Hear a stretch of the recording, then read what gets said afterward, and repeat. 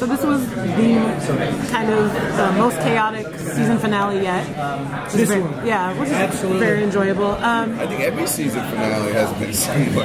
Well, yeah, it's Not just, that wedding or something else. The wedding, the zombies, zombies, the mother coming back. yeah. Well, I mean, we had you know the king gets pushed out of the helicopter. Yeah, there was a lot. There's, there's a lot of layers. So there, you know, when you're bringing it back in the second one because you had so much action in the last one, is it repercussion time? Is that like how you kind of oh, you plan it that way? To Yeah, there's a lot of repercussion, but it's still a lot going on, and there's still, you know, a Wesen coming around the corner every once in a while, every week or so. It is important. A lot goes on. How far out do you have to plan? Well, at least eight days, at least eight days out, because every eight business days, Brooks shoots a new episode. So uh, We're only a couple episodes ahead. we like to know. We have a general feeling about things that are going to happen this year, but we don't nail. We don't get married to stuff because we might find something better when we're writing it, which happens a lot. Of A lot of the different the organic books, it's very I think so. Yeah. Well, also, I mean, as the show evolves, certain things present themselves that you want to take advantage of. For example, Monroe and Rosalie, as actors, their chemistry was so good that you know you took it in that direction. Or even someone like Bud, who was a find in Portland, and he was so good that I'm sure We started writing for Bud started Crack writing. Bud. I love him. Yeah, he's great. He's a lot of fun. Yeah, he was a one one scene Yeah, he was just one be the- episode character.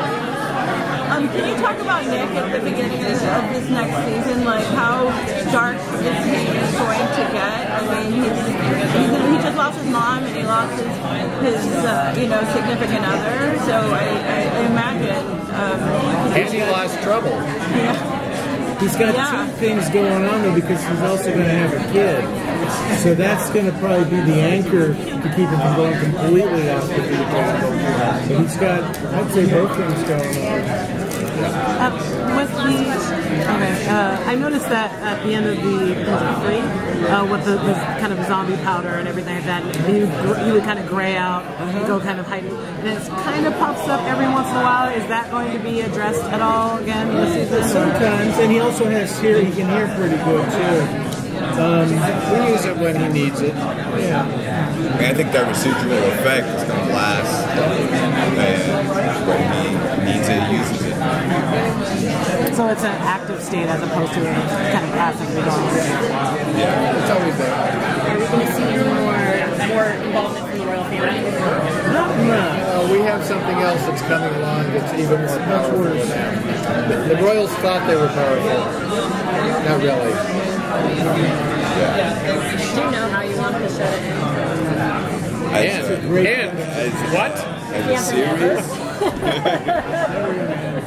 Well, you know, when we did episode 13, which is the one where Hitler was revealed as a Blutbad, we didn't know that wouldn't be our last episode. So we thought that would be a great way to go out.